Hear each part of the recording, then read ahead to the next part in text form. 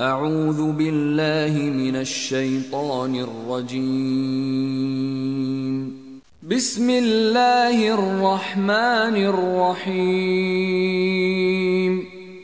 And he created the horses, mules, and donkeys for you to ride and as adornment. And he creates that which you do not know.